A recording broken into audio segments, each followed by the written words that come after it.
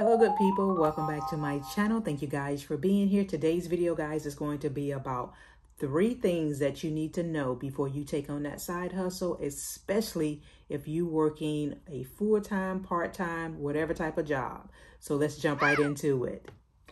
So ultimately, if you decide to go ahead and start that side hustle, side gig, whatever you want to call it, make sure you are not doing anything on company time. Make sure you're not using the company laptop, their cell phone, their software, none of that. Because you know, sometimes it just depends on what you're doing. You know, you might feel like, okay, let me just go over here to this computer and let me um, just kind of pull up what I normally am doing on my side hustle. You know, let me do this on company time. No, no, no, no, no. Don't do it. Don't do it whatsoever because it can cause you some problems. First off, Make sure that you know your company policy before you start that second gig.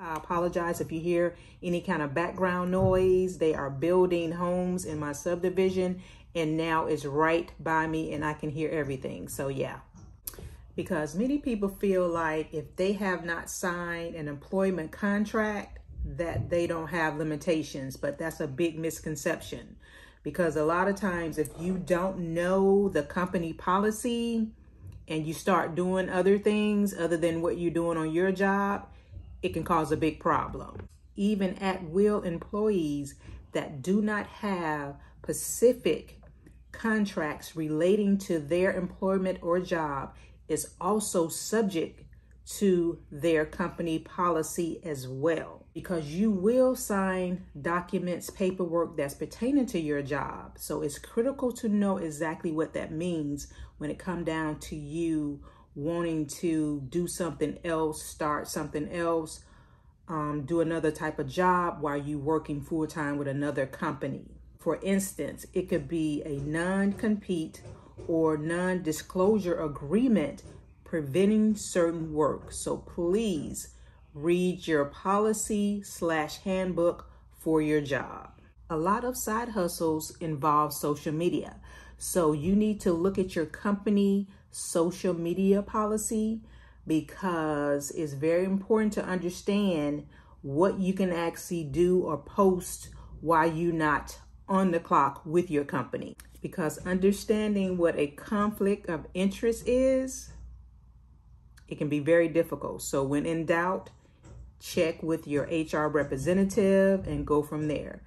Because I can remember a time, this was a time when I was actually in high school. Me and two of my best friends, we would, you know, throw parties on the weekend, you know, house parties, you know, have something to do um, on the weekend. So what we would do, we would, when we get to school during the weekday, we would kind of promote it with our flyers and our t-shirts and things like that. And this particular day, um, we all got called to the office because they were telling us that we could not, you know, promote and advertise while we was in school because that was a conflict of interest. And by us not really knowing this, we're young, we just doing something, trying to have fun on the weekend, but we didn't know this. You know what I'm saying? So something as simple as that, that we didn't even have a clue on, you know what I'm saying? A conflict of interest, you know what I'm saying? We just high schoolers, you know, but something like that on a job can cause you a lot of problems and a lot of headaches. So yeah, just review your social media policy with your company. Bottom line, just know your company policy before you start doing anything with any type of side hustle. Just check and make sure you know what's what. So yeah, guys, thank you guys so much for being here. Again, if you think you might like this type of content, please go ahead and subscribe to my channel. Give me a thumbs up, like, comment, and share this video. And if you enjoyed this video, check out this video over here. And I will see you guys in the next video. You guys take care. Bye-bye.